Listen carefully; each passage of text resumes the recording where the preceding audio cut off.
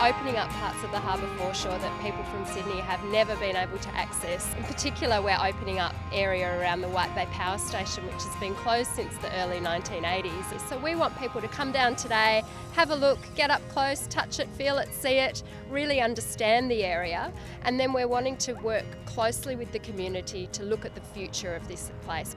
I cycle past here, I drive past here, often look in, and I think what a wonderful place this is for Sydney to do something with. It's an incredible space. This would make a sensational kind of art zone of some sort. I've got fond memories of this power station smoke issuing from the top of the chimneys. It was very dear to my heart because it meant we were going on an outing for the day. And when it closed, I felt quite um, well, I felt that something was missing, but I, I, still would like to see it transported into the 21st century in some meaningful way. Now we're moving into a clean energy future. There needs to be a site where people can actually have a look at energy, how it's produced. So the whole thing works not only just as a renewable energy and a low energy emitter, but a, a format that actually shows people how we can live a lifestyle that is in a much lower carbon producing environment. There's a lovely huge flat area between White Bay and Glebe Island that would be perfect for playing fields. Our, our council area has the least playing fields in, in the, the state and we really need more so, so we're really looking towards getting something like that.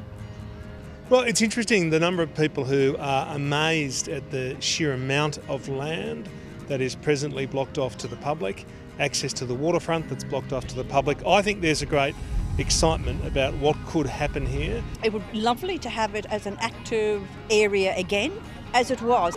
And if that's going to be people and population and kids and parks and playing fields and libraries and art, it would be brilliant to have that because it would bring life back. But it's got to be more than just the developer dollar. We'd certainly like to see uh, a lot of architecture preserved. That, that lovely old bridge over there, that's something that, uh, you know, my son's children should be able to enjoy. And our kids are primary school age now, but heading into the next 10 years, we're going to be looking for better higher education facilities and good, good public transport. The idea of some public access, maybe uh, a ferry stop, would be nice.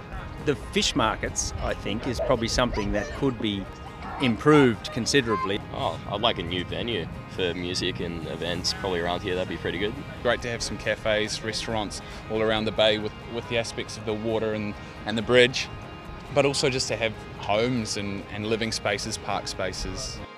You know, it's lovely to get the to get the sense of the, the bay opening out. That's what I think is really nice. We're all sort of looking outwards and seeing the possibilities of it. So yes, it's been a lovely day. This is part of exposing to Sydneysiders just what the potential is here.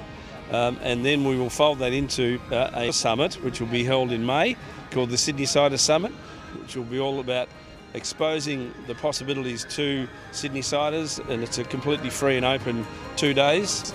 So we've opened up that and we'll open up people's imaginations as a result of that.